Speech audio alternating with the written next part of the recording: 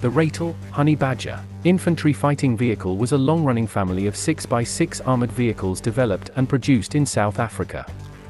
The series was designed around the same wheeled chassis developed to undertake a variety of battlefield roles as required. Design work on the type by Sandock Austral began in 1968, producing the first prototype in 1974. Quantitative production then began in 1979. For over 30 years, the vehicle has seen extensive service with the armed forces of South Africa, Jordan, Djibouti, Ghana, and Morocco. Its long legacy has ensured it a place in South African Army law, though the Ratel is set to be replaced by the more modern Finnish Patria family of modular 8x8 wheeled vehicles. South African armed forces are expected to procure some 264 examples of the newer Badger, and field it in various battlefield guises, in effect taking the mantle from the Ratel. For its time, the Ratel was one of the best, if not the best, armored wheeled vehicles anywhere in the world. It has since been surpassed by more modern breeds incorporating the latest in battlefield technologies, weaponry, and survivability. South Africa had long held a military and security tradition of procuring various armored wheeled vehicles throughout its history, mostly European in origin. However, when the international community placed an arms embargo upon the country, the South Africa authorities had to look to indigenous solutions in an effort to fulfill growing military requirements. To that end, the South Africans have since become something of experts in the field of wheeled armored vehicles, primarily where landmines are a concern, due to the types of bush conflicts regularly encountered in the region, a place where unconventional warfare has proven the norm. Vehicles such as the Ratel present various advantages and disadvantages to military war planners. They are lightly armored, making them agile and fast while also making them more susceptible to land mines, anti-tank weapons, missiles, rifles, and cannon. Their wheeled nature allows them access to many terrain types under their own power without the need for dedicated heavy land transports. This also served to promote a rather tall target profile however. Perhaps the single best selling point of such vehicles is their modular nature, a single chassis and hull that allows warplanners the ability to adapt their vehicles to suit operational needs. As such, when armed, the Ratel can offer varying levels of fire support to advancing infantry.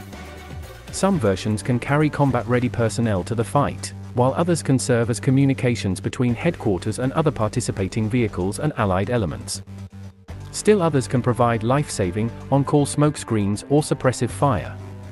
In its general form the Ratel was of a clean, yet very utilitarian design. The driver was seated at the front center of the hull behind a framed bulletproof screen that also had fold-up armor plates. The crew cabin was situated just aft of the driver's position and, if armed, would contain the turret. The engine was conventionally fitted to a compartment at the left rear of the vehicle, a passage allowed for maneuvering from the rear to the fighting compartment. The hull of the Ratel was purposely designed with well-sloped surfaces at any angle save for the rear, and even included underside hull qualities for the purpose of landmine detonation deflection. The roof was flat while the glacis plate was designed as nearly horizontal, the sides of the hull were slightly sloped to promote basic ballistics protection. The hull sat atop a suspended wheeled chassis that sported six large rubber, run-flat, road wheels, three to a vehicle side with the rearmost two arranged as a close pair. There was a large, hinged rectangular access door to either side of the vehicle hull, after the driver's compartment, as well as a rectangular door at the rear hull facing, offset to right as the engine was left, while roof hatches allowed for additional access. If equipped with a turret, manual in its function, there were more hatches available to the crew, principally the turret crew. Side vision ports allowed internal personnel views of the action outside, as well as firing ports designed to engage enemies from the safety of the vehicle interior. A standard operating crew was three personnel made up of the driver, vehicle commander, and gunner. Passenger seating, depending on production model, could range from 6 to 9 personnel. Power for the Ratel was supplied by a single Bussing D3256BTFX 6-cylinder inline turbocharged diesel engine developing 282 horsepower, and provided the vehicle with a road speed of 65 miles per hour on ideal surfaces and up to 18 miles per hour on uneven terrain. Operational range was out to 620 miles and the vehicle's operational weight was nearly 42,000 pounds. All told, the Ratel was a rugged family of armored vehicles with a strong pedigree based on extensive operating experience in the unforgiving territories of South Africa. Representing a complete family of armored vehicles, the Ratel has been broadly adapted to specific battlefield roles. The original production version was the Ratel 20 which featured a French-based turret emplacement mounting a 20mm cannon. This variant was subsequently improved in two production marks, Mk2 and Mk3. The Ratel 60 followed with a traversing turret, reconstituted from Eland 60 series armored cars, and a 60mm mortar for indirect fire support. The similar Ratel 80 made use of an 81mm field mortar but lacked a traversing turret.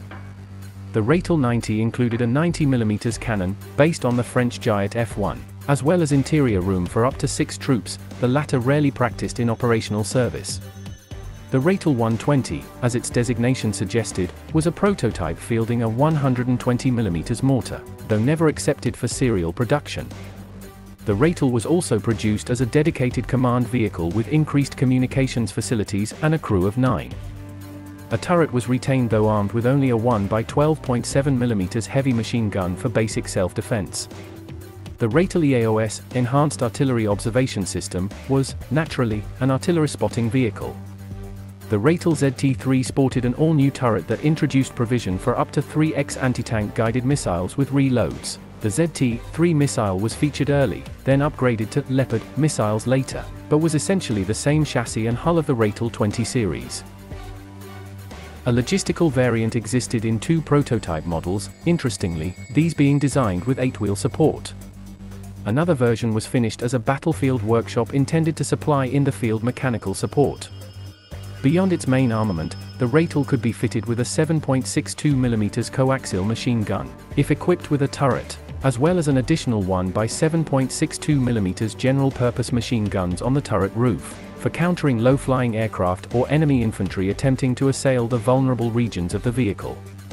Another 7.62mm machine gun could be added to the hull roof. For additional self-defense, the Ratel was further equipped with 4x smoke grenade dischargers, this useful for covering an advance or screening a retreat. Ratels were effectively fielded by South African war planners in various regional and local conflicts to which the Ratel family gave good service, especially in the anti-armor, command and infantry support roles.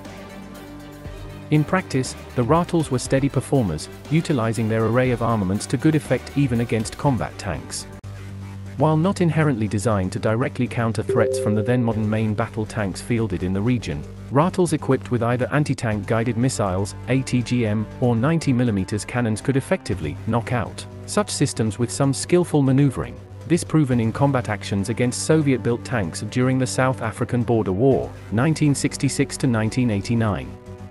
Of course its own light protection often exposed crews to deadly enemy return fire as armor thickness, up to 20 mm, was only really adequate against small arms, artillery, spray, and small caliber cannons. On today's modern battlefield, however, the Ratel is wholly outclassed against the latest MBTs in service, though the Ratel was never really designed for such direct action to begin with so the comparison is moot. The Ratel IFV is named after the native honey badger, a fierce, hair-covered carnivore utilizing its agility and imposing claws to good effect. Sandock Austral is now under the Land Systems OMC defense banner, under ownership of BAE Systems. Some 1,350 Ratels were reportedly produced for both local and export use.